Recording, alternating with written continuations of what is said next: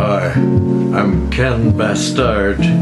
Just wrote a song and I invite you guys to dance, all of you. Here's my tune. I'm a bastard.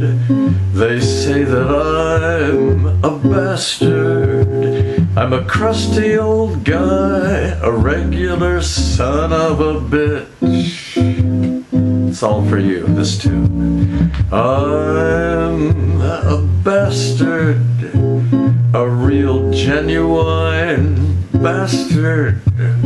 I'm loaded with crabs with a hell of a case of jock itch. How do you like it so far? yeah, hope you like this stuff. I wrote it just for the ballroom dancers right over here. Want to see you do a little foxtrot to this. I get plastered and it makes me a bona fide bastard. When I see a girl, I run up and grab her boobs.